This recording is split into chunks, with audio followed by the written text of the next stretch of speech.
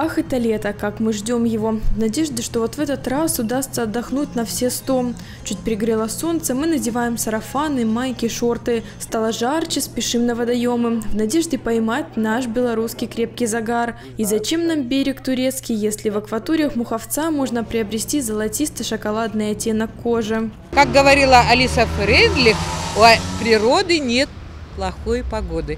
Каждая погода благодать. Смена погоды вообще не влияет на наши прогулки. Мы как пошли с Владимиром Борисовичем, с мужем, пошли на пенсию, мы все время гуляем. Мы каждый день два с половиной часа делаем прогулку. У природы нет плохой погоды. Вся погода разная. Вообще люблю жару и собираюсь ехать отдыхать.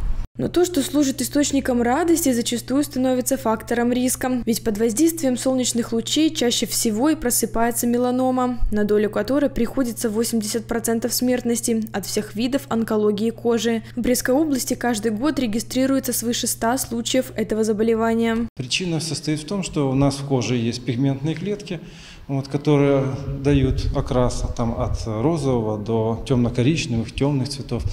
Вот. И эти пигментные клетки, э, меланоциты так называемые, их функция стоит в том, чтобы защитить нашу кожу от пагубного воздействия ультрафиолетового или избыточного воздействия ультрафиолета.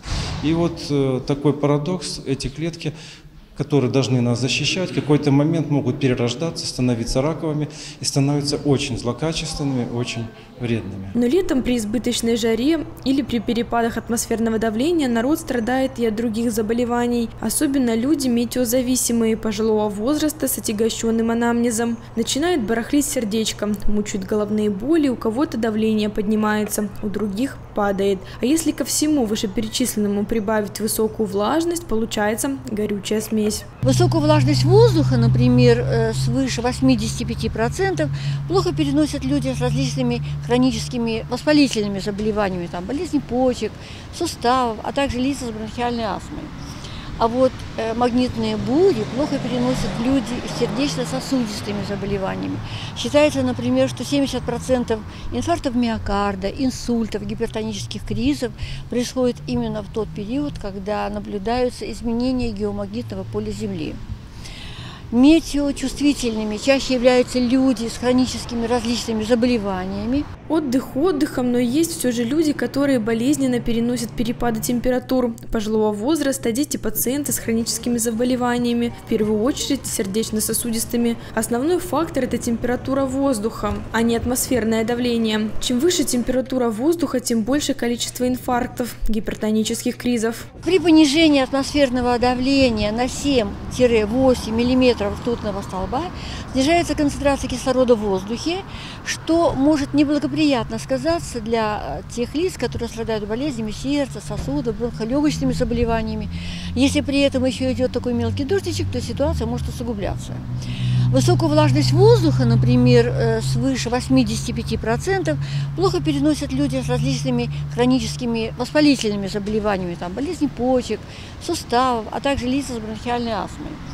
А вот э, магнитные бури плохо переносят люди с сердечно-сосудистыми заболеваниями. Считается, например, что 70% инфарктов миокарда, инсультов, гипертонических кризов происходит именно в тот период, когда наблюдаются изменения геомагнитного поля Земли. Все зависит от человека. Если хочешь быть здоров, закаляйся, гласит советский лозунг, а мы добавим. Ведите здоровый образ жизни, следите за питанием и весом, за своей активностью. Лучше один час пройтись по нашему парку, парку, чем то же время провести у монитора компьютера. Погода на меня влияет, то, что уже я на пенсии и стараюсь как бы открытое солнце не допускать на голову, потому что часто приходится принимать таблетки. Поэтому, а так вообще погода, когда нет дождя, солнце прекрасно. С возрастом уже чувствуется как давление, головные боли. Вот так вот. Ну, когда холодно, все равно хуже. Я уже в таком возрасте, что уже, к сожалению, влияет. Влияет, конечно. Но вообще у нас погода хорошая, я считаю. Плодотворно влияет, потому что мне надо ходить, ходить и ходить. Я в любую погоду хожу, в любую.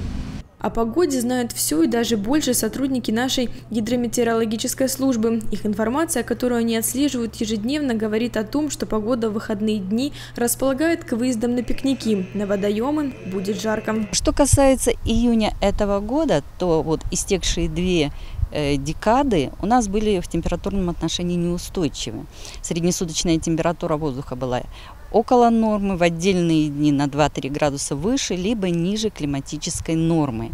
Э, в последние два дня первой декады, это 9-10, и в последние два дня второй декады, 19-20, э, было жарко среднесуточная температура воздуха превышала средние многолетние значения на 5-7 градусов. Если вы прислушаетесь к советам наших респондентов, лето образца 2022 для вас станет удачным, ничем не омраченным. И еще берегите себя. Помните, мы в ответе за свое здоровье.